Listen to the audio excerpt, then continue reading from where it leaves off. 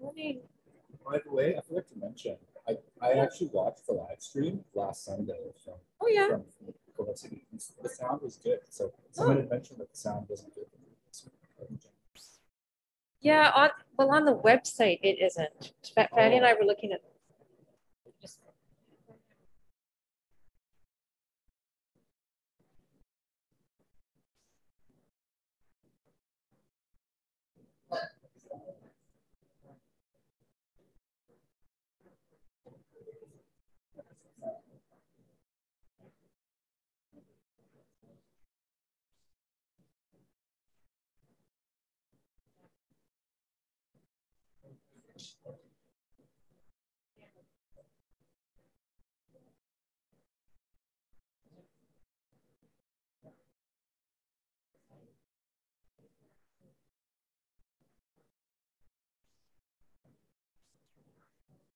balance.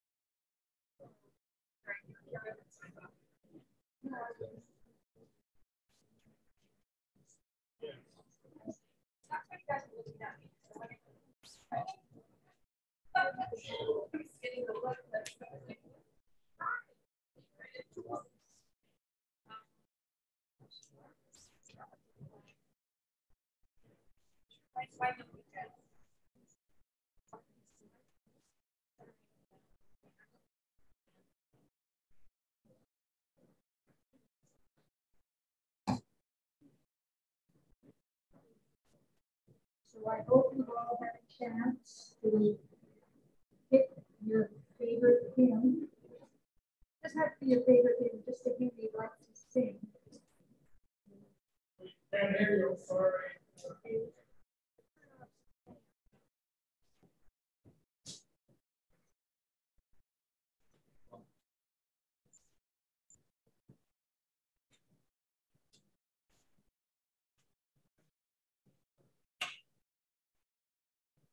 So what, what hymns do you want to start off with this morning?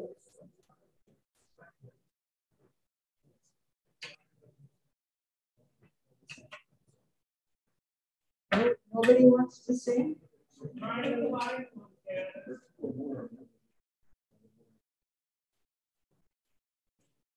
You- You'll have to wave your hand around frantically, because otherwise I won't be able to see.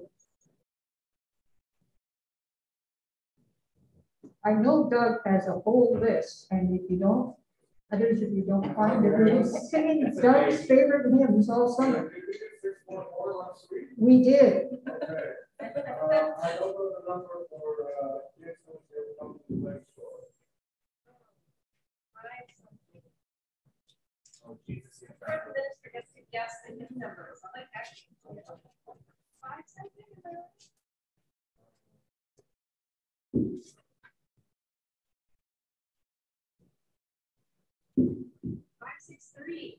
Oh, Great. Does this one have seven verses too, Doug? Jesus, you're consolation.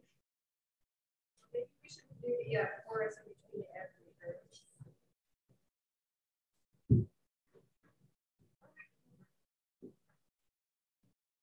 Okay.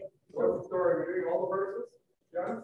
How many verses are there? It's not that long. Four. It's not that long. It's not. All right, we'll do them all, It's not that all the verses, five, six. Whoever picked it has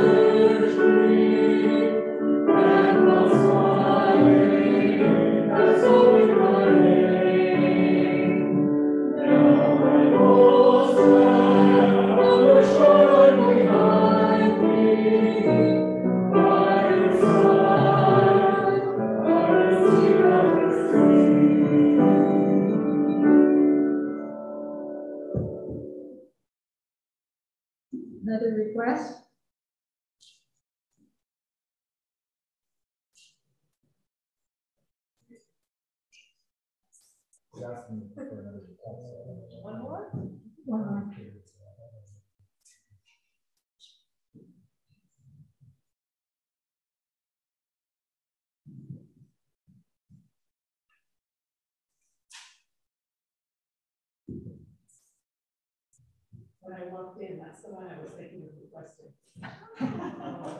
One twenty-two in more voices.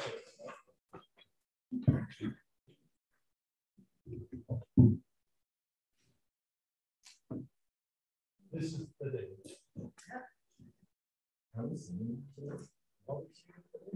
Nope, want to get us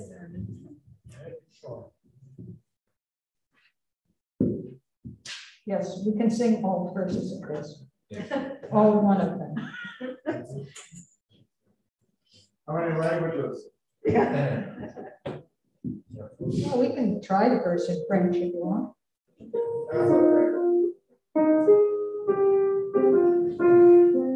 That's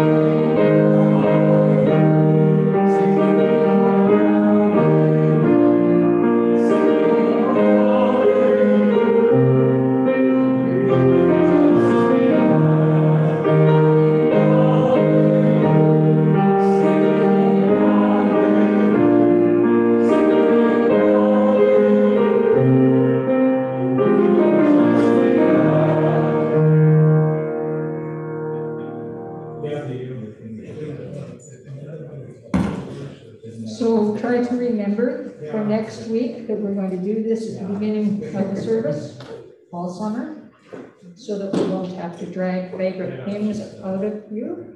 Because if you don't, Doug will. And I predict by the end of the summer, we'll be going into the fall and people will be saying, where's our hymn sing? Pretty sure. Siblings in Christ, welcome to worship with Trinity Grace United Church here in beautiful East Vancouver. We believe God is at work in the world, in our neighborhood, and among us. And that the Spirit calls us together week by week, moment by moment, to nurture our faith, find Christ's welcome in each other, helping us to be a community of love and unconditional welcome for all. Want to acknowledge with gratitude that those of us here in person are gathering on the traditional and unceded territory of the, uh, the Squamish, Musqueam, and Tsleil-Waututh nations. And this congregation, we reaffirm our commitment to the sacred and important work of truth and reconciliation.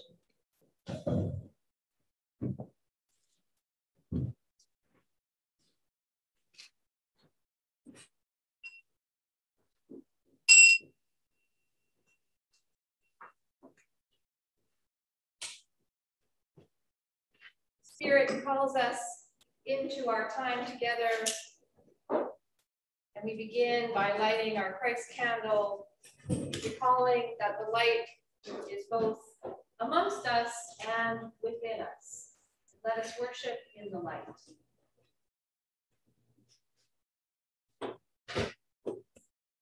Our introit this morning is uh, in Voices United. It's number 400. Lord, listen to your children praying. Let's listen to Melody sing it through once, and then we'll sing it through twice.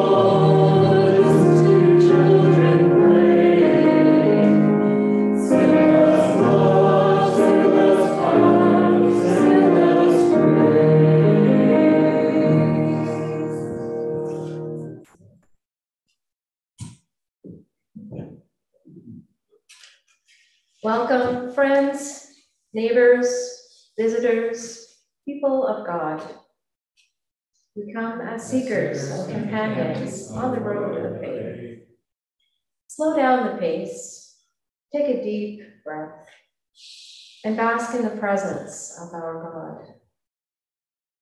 Whoever we are, wherever we've come from, God welcomes us. Come, let us be neighbors in this place. Let us encounter God together.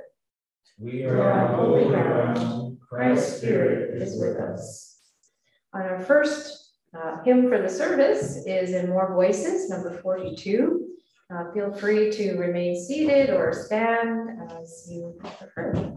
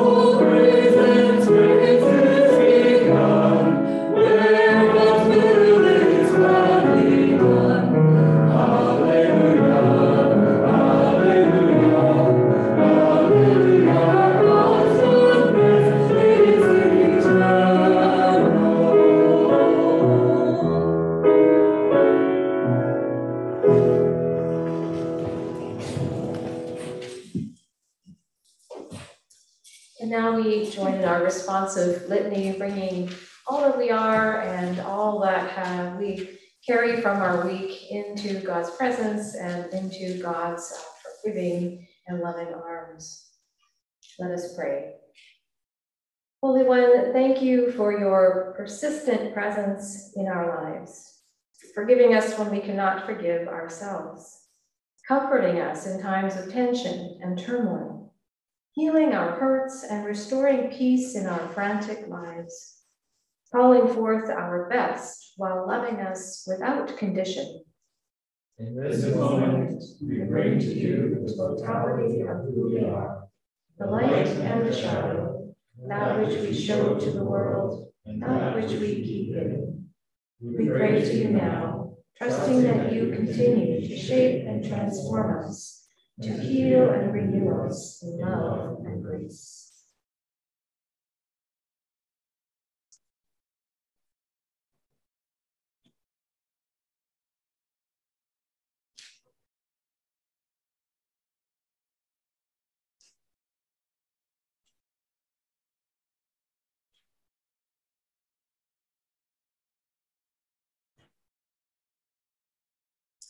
Friends, hear this good news.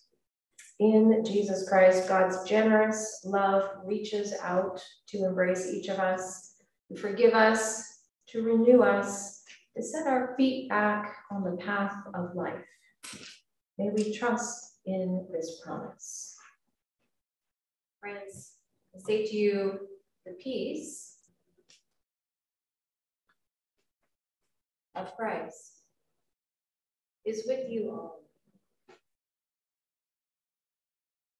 And so you say, Oh. the peace of Christ is with us all.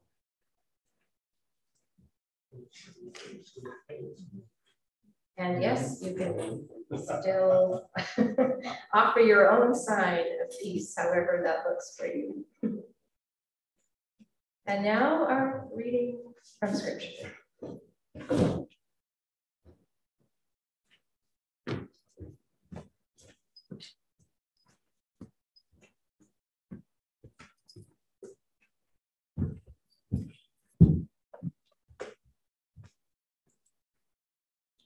Not not to trip over.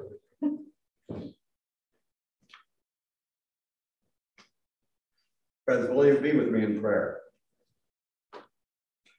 God of wisdom, as we listen to your word recorded by generations of your people, fill us with understanding by the power of your Holy Spirit. Reveal the mysteries of faith to us so that we may grow in faithfulness, following Jesus, your living word. Amen. Our reading today is from the Gospel of Luke, chapter 10. Just then, a lawyer stood up to test Jesus. Teacher, he said, what must I do to inherit life, eternal life? He said to him, What is written in the law? What do you read there? He answered, You shall love the Lord your God with all your heart, and with all your soul, and with all your strength, and with all your mind, and your neighbor as yourself. And he said to him, You gave the right answer. Do this, and you will live. But wanting to justify himself, he asked Jesus, And who is my neighbor? Jesus replied, A man was going down from Jerusalem to Jericho and fell into the hands of robbers, who stripped him, beat him, and went away, leaving him half dead. And by chance, a priest was going down the road, and when he saw him, he passed by on the other side. So likewise, a Levite, when he came to the place and saw him, passed by on the other side. But a Samaritan, while traveling, came near him, and when he saw him, he was moved with pity. He went to him and bandaged his wounds, having poured oil and wine on them. Then he put him on his own animal, brought him to an inn, and took care of him. The next day, he took out two denarii, giving them to the innkeeper, and said, Take care of him. And when I come back, I will repay you whatever more you spend. Which of these three, do you think, was a neighbor to the man who fell into the hands of the robbers? He said, The one who showed him mercy. Jesus said to him, Go and do likewise. For the word of God in scripture, for the word of God among us, for the word of God within us. Thanks be to God.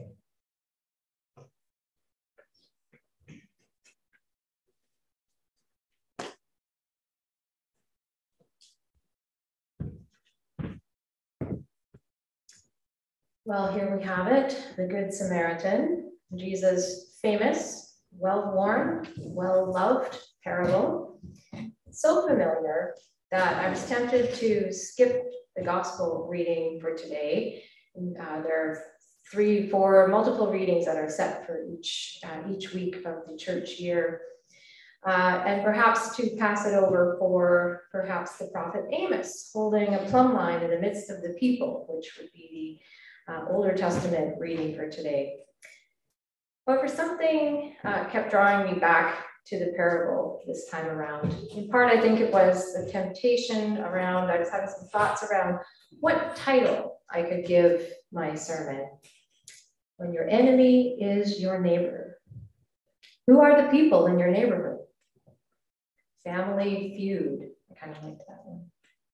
Or maybe it was a temptation to start with a joke. A priest, a Levite, and a Samaritan walk into a bar. But part of it, I think, is just the fact of this parable being so familiar as it is. I wanted to see if we could dig a little, go underneath a bit, perhaps forestall that natural inclination we have when we hear a really familiar story uh, to just jump to the moral and think we know, you know, what it's about. Don't need to listen. Now, when I just said I was tempted to title this sermon Family Feud, uh, it's for a good reason. There are many references to Samaritans in the Bible, and the Samaritan, of course, features in this parable. And if we look back, for example, um, to books of Kings, we find out that the relationship and the bad blood between these two groups, between Jews and Samaritans, goes back to at least 700 BCE.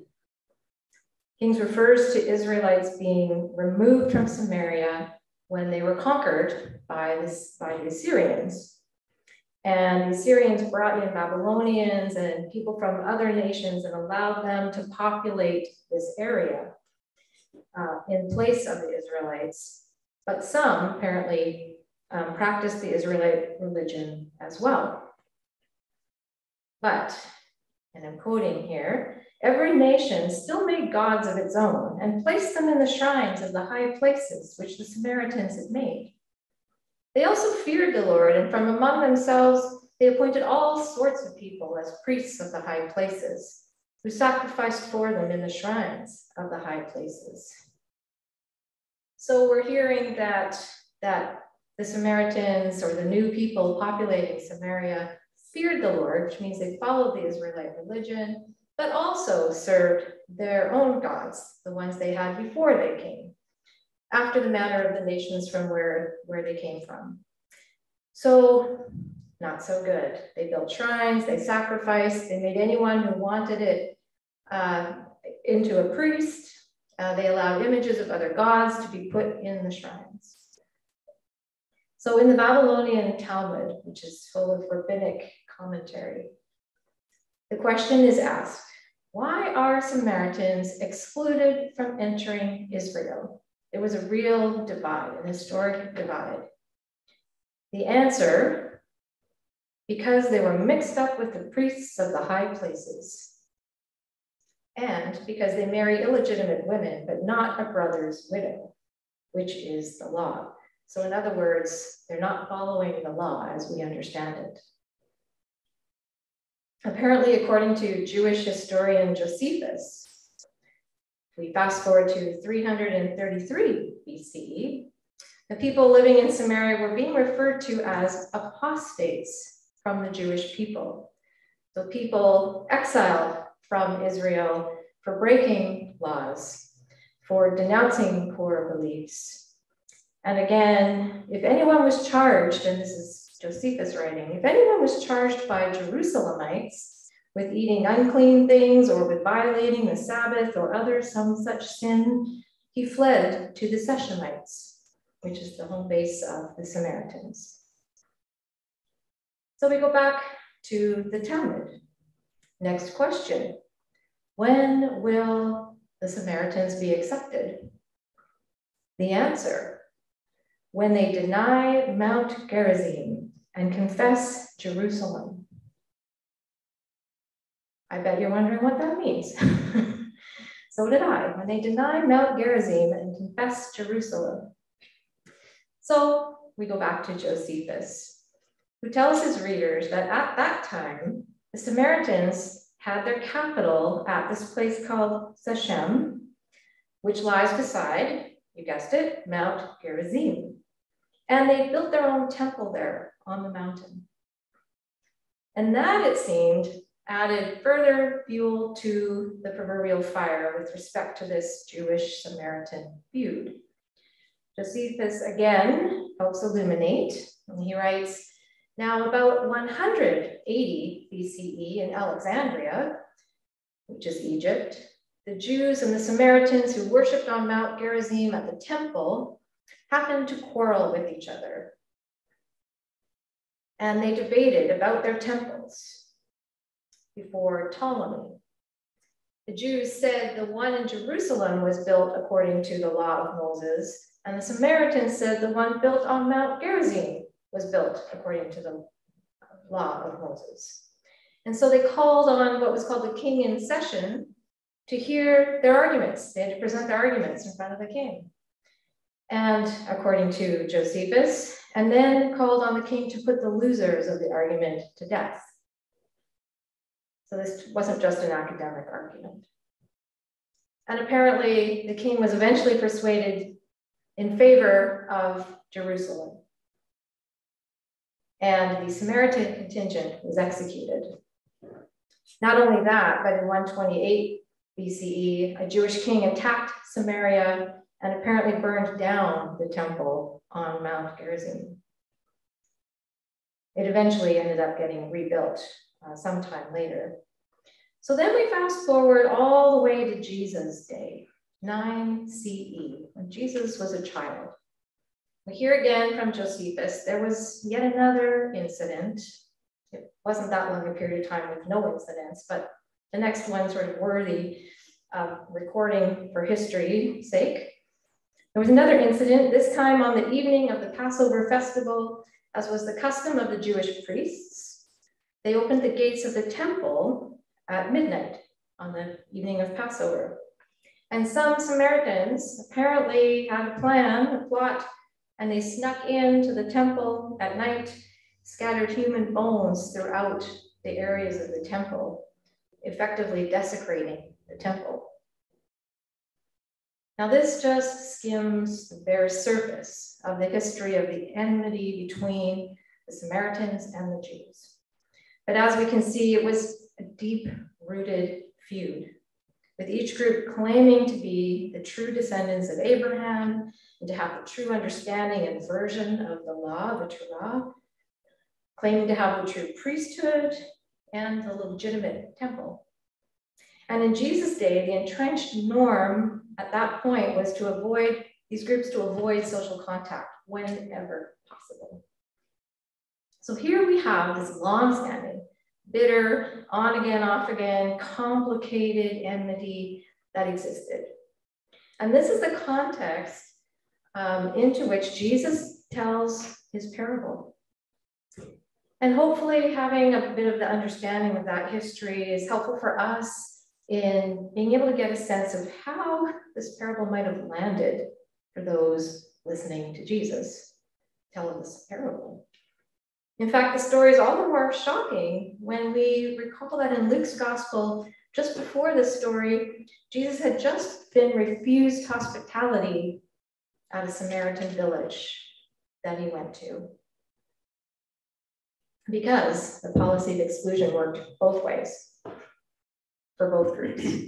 And when James and John, Luke recounts, wanted to bring down God's punishment on the village for refusing the hospitality, Jesus had to remind them that raining down fire on people isn't actually the right response to a lack of hospitality.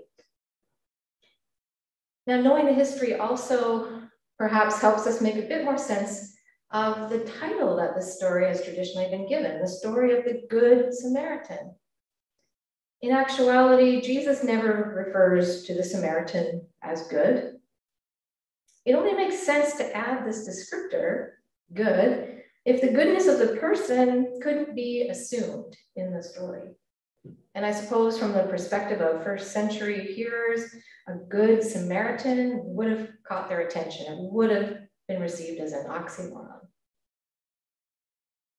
Now, of course, since the story has now seeped so deeply into our cultural lexicon, the Good Samaritan has, over time, come to be used to describe, as you know, someone's extraordinary act of coming to someone else's aid we actually hear people uh, who have gone out of their way to help someone called Good Samaritans in news articles on almost a daily basis.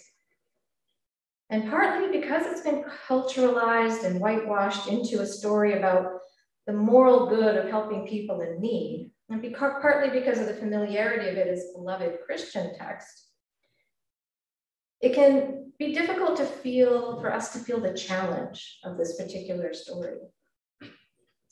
Amy Jill Levine, who's a professor of New Testament and Jewish studies, famously once suggested that religion is meant to comfort the afflicted and afflict the comfortable. And you may also have heard, heard that phrase used by an Old Testament scholar we have here with us in the congregation. And many Jesus' parables were designed to do just that afflict the comfortable, the comfortably secure, the comfortably wealthy, and the comfortably self righteous. They're designed to lay us comfortable folks bare.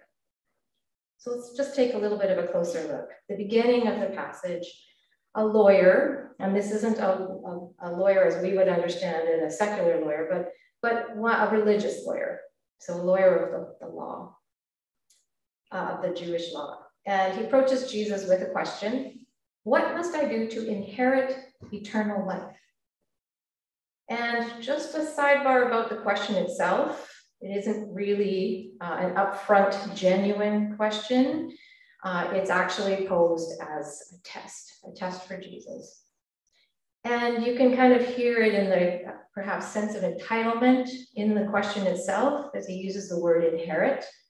So it's about what do I need to do to get this? It's about me and my accessing this privilege of eternal life. Jesus, as he often does, responds first by asking the learned questioner, What does the law say? And of course, the lawyer knows, the lawyer's a smart guy. You shall love the Lord your God with all your heart, and with all your soul, and with all your strength, and with all your mind, and your neighbor as yourself. And so Jesus says, You have given the right answer. Do this, and you will live. That's not enough for this lawyer. So he follows up. And who is my neighbor? And at that, perhaps sensing even more clearly the motivation behind the question, Jesus decides to flip things. He tells the parable of the Samaritan, and then he turns and he asks the lawyer, Which of these three do you think was a neighbor to the man who fell into the hands of the robbers? To which, of course, the lawyer has to reply, the one who showed him mercy. And Jesus says again, Go and do likewise. And in that turn, that turning of the question from who is my neighbor to who was the neighbor to that man in need, Jesus takes the focus off who should be helped, who's worthy of our help and places it squarely on the helper. In other words, don't worry about who might need your help, who might deserve your help, who you have to help and who you don't. What made the Samaritan in the parable a neighbor? Was it any one or combination of actions that he took with respect to the injured man? Was it that he was moved with pity? Was it that he went to the man and bandaged up his wounds? Was it that before he bandaged the wounds, he uh, anointed the man, poured oil and wine on the wounds? Was it the fact that he put the man on his very own animal, brought him to an inn, took care of him? Or was it because the next day he took out two denarii, the equivalent of two paydays, gave them to the innkeeper and said, take care of him, thus ensuring the ongoing well-being of this man and then the, the chance of recovery. Or what if the Samaritan was a neighbor simply because he made the choice to go near, to approach the man as he was lying in the ditch, to decrease that distance um, between him and the person in need? When we see someone in need and distress, in an emergency, isn't the most difficult part of us taking action, uh, overcoming that moment of fear, of indecision, um, to actually engage the situation? One commentator asks, What if eternal life, what if the kingdom of God is known here and now where we are in our nearness, in our proximity to one another. in the decision for us to be closer and not looking for ways to push away or disengage. And I'm thinking of this in a general sense, in this age of individualization and suspicion sometimes of each other's motives. But I'm also thinking back to the feud and the willingness and our willingness to stay near, to stay in the neighborhood, if you will, with those we disagree with, sometimes vehemently. For what is a neighbor or a neighborhood if not a person or a group of people who are in community together in relationship with each other, who are willing to be community to each other when one of them is in need. So I was thinking about my co-op. It feels like a community like that. We're there for each other. We don't always agree. Some of us let our dogs roam and poop on each other's lawns. Some of us can see the body language right there as I think about it. Some of us play our music too loud outside when we're washing our cars or having our barbecues. Uh, but were there to be an emergency, we'd be there for each other. The community would rally. And of course, my annoyances with my neighbors absolutely pale in comparison with the kind of enmity we're talking about here in the Jesus context. But what if, for example, I knew that my co-op neighbor was a far right conservative evangelical Christian who, in my view, has a distorted view of the gospel and participates in harming others through that worldview, for perpetuating that worldview. What if I had witnessed my neighbor threatening another neighbor? What if I'm a villager in occupied France whose son has been killed in the fighting and who comes across a severely wounded German soldier? One suggestion that's been made regarding this passage is that, at least in part, either Jesus or Luke would have been drawing upon an actual earlier biblical account uh, from Second Chronicles. It tells of a time when the Samaritans captured uh, hundreds of thousands of Judean women, men, and children with the intention of, car- they carted them off with the intention of making them slaves. And a prophet at the time apparently condemned the Samaritan army. And as a result, some of the leaders listened, were listening to the prophet. And we hear in Second Chronicles, then those who were mentioned by name got up and took the captives, and with all they had taken, all they had stolen in their pillaging, they clothed the captives. They gave them sandals. They provided them with food and drink and anointed them. And carrying all the weak among them on their own donkeys, they brought them back to their own people at Jericho. It's quite a striking parallel there between that and the parable of Jesus. The final thing I want to mention is this parallel between the priest and the Levite in the story Jesus tells, and the lawyer who asked Jesus the question. For all of them, the internal thought process seems to be very self centric, as I mentioned. How will helping someone affect me? Will it allow me to inherit eternal life? And Jesus, as he often does, reframes the question. In this case, asking a different question, which forces the lawyer and us to focus on the other rather than on ourselves. What's in it for me? The hated Samaritan in the story is the one who overcomes the natural inclination to respond from a how will my actions affect me stance to a how will my actions affect this other person? And in doing so, Jesus reminds his hearers that just feeling compassion isn't enough. Oh, look at that poor guy over there. It's the acting on the compassion that counts. This is what God does in so much of our biblical account. God shows mercy through acting to save the people, even when they sinned against God. And here's Jesus saying, Go and do likewise. I like the suggestion of one commentator who says, In the end, the Good Samaritan is the one who comes near as one who knows the kingdom is near, as near as our willingness to become neighbors to each other, to everyone, including, let's be honest, those we feel we have every good reason to be angry and aghast with, to even despise, in fact. So many questions arise from this text, but the most important one for us perhaps is, are we feeling afflicted yet? The kingdom is near, the way is fulfilled, says Jesus, when we put our compassion and our common humanity first, taking ourselves and our fragility out of the center of the equation and tending to each other in our time of need and vulnerability. The despised, hated Samaritan did that. Will we go and do likewise?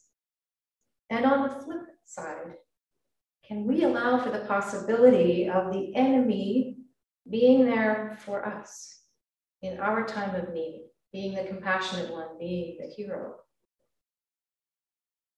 And I think we can all think of some people we'd rather not want to come to our assistance in a time of need. And yet, here we have the story. And in allowing for those possibilities for us or for them to mercifully step over historic and entrenched and sometimes violent lines separating us from them. One small act at a time, might we participate in God's holy work of breaking the cycles of violence that keep us at odds with each other.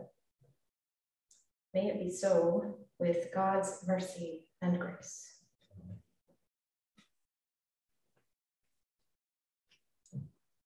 Perhaps unsurprisingly, our next hymn is titled When I Needed a Neighbor. It is number 600 in your red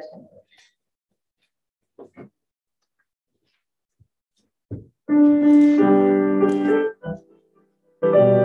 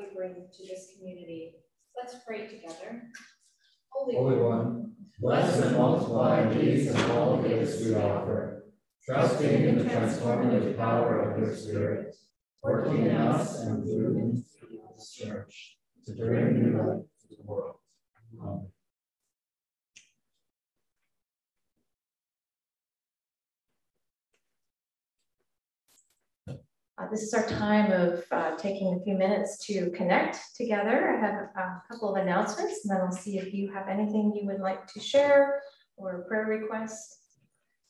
Uh, so on Friday evening, we had our first sacred jazz concert. Uh, this has been a while in the making, and COVID has uh, had kind of thrown our schedule off for getting this started. Um, Dan Reynolds, who's a musician at Brentwood Presbyterian, brought the quintet, uh, including a, a tap dancer, and they performed the Prodigal Son Suite. And I think uh, I can speak for most of us who are here. Uh, it was really, really moving and a really interesting experience. And I've just found out um, this morning that the video is now up on our website. So you go to our homepage and uh, it, the link will be right there on the homepage. You can view it. Um, also, just wanted to give you a quick update that our search team for the Minister of Community Engagement had its first meeting this past week, some one of those days, Wednesday, Thursday. And uh, the members of the search team just wanted you to know, we'll be putting some written announcements into the bulletin as we move along in the process. But uh, the members are Brenda Harrison, Sally Marcantonio, Doug Jameson, uh, Mariana Harris, Mia Stark, and myself. And we met with Mark Colomb, who's the regional minister, uh, to get us started. And the position description is now up on uh, the portal called Church Hub, where ministers looking for a position can look for open positions. I also wanted to, to ask your prayers. Some of you will have heard, but if you hadn't, just ask your prayers um, for Ed Cannell, uh, and he suffered a stroke last week, and um, he is uh, hopefully going to be going home soon, so that is good news. Uh, but he and Cheryl and their family would appreciate your, your ongoing prayers.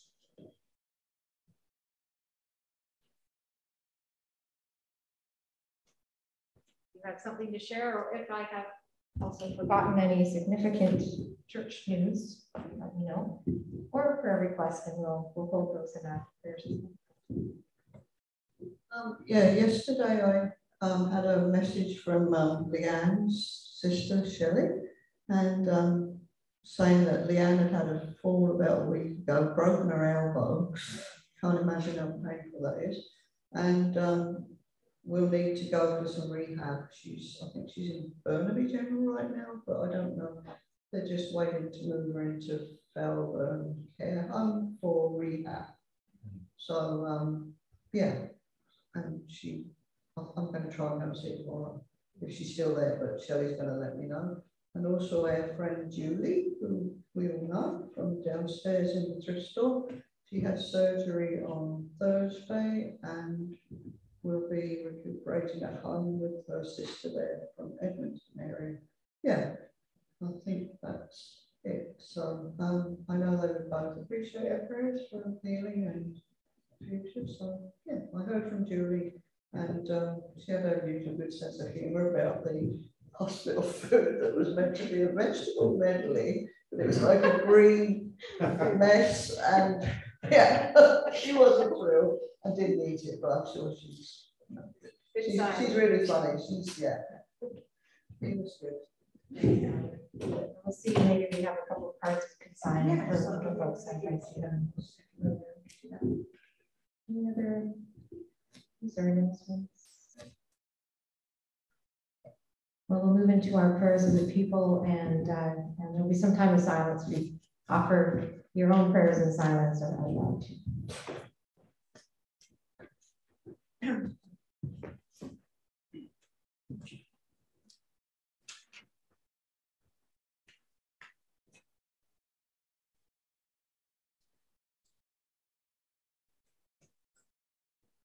So this morning our prayers are responsive. To, so the invitation, God of life, I invite you to respond with, hear our prayer. Let's pray. God of abundant growth, the summer unfolds around us. We give you thanks for warm, sunny days, for beauty in our gardens, crops growing in our fields, life swimming in oceans and lakes where the abundance of nature is at risk. We pray that your spirit will work in and through us and with the cooperation of nations and leaders everywhere to restore the air, water and soil for the good of all creation. God of every life, hear our prayer. God of peace and justice and reconciliation, we thank you for the peace and freedom we enjoy and the many ways our lives are protected in this land. We remember before you those torn apart, those places torn apart by violence and hate, those people who face discrimination daily, and those fighting for their basic human rights to be recognized. We pray for those who face barriers to employment, housing, and for those experience food and economic insecurity. We pray for anyone who is feeling unsafe or unsupported.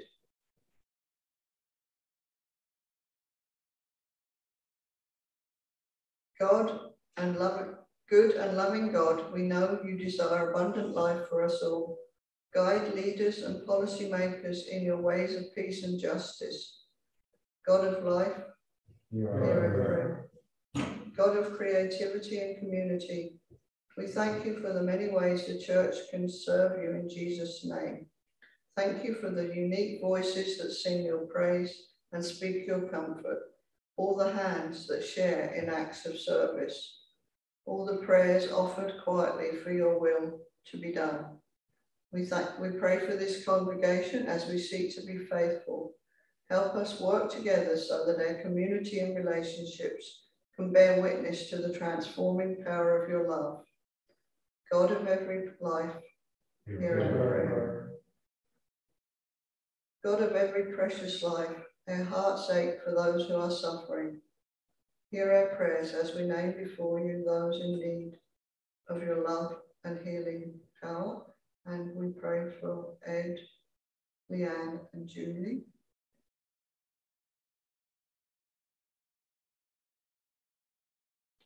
Life-giving God, may your spirit sustain and bring peace and renewal to those we have named before you.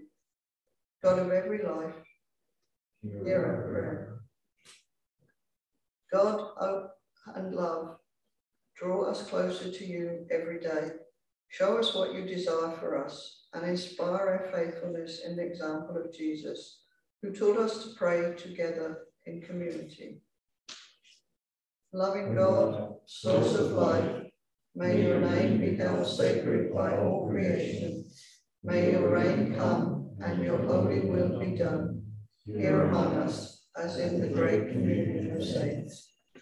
Provide what we need to sustain us today.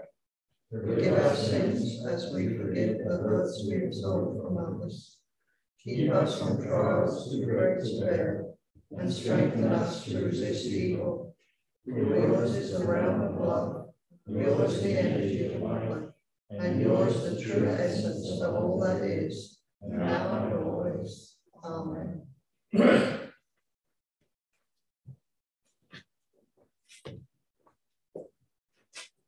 Our last hymn is Go Make a Difference, More Voices, 209.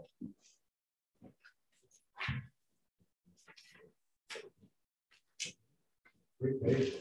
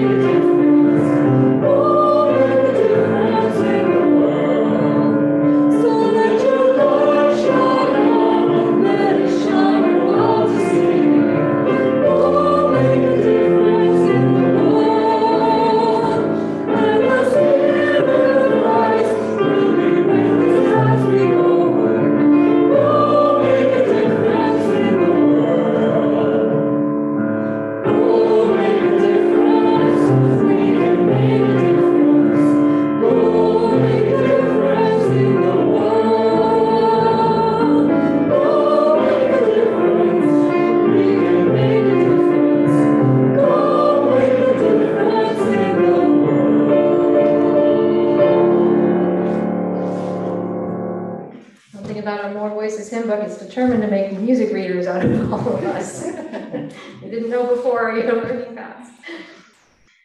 Friends, as we go now, remember wherever you go, you are on holy ground. Rejoice, persevere, extend hospitality. Let your words and actions witness to the Spirit's sacred presence in the midst of all life. And may God's blessing call forth peace and love from you to the world.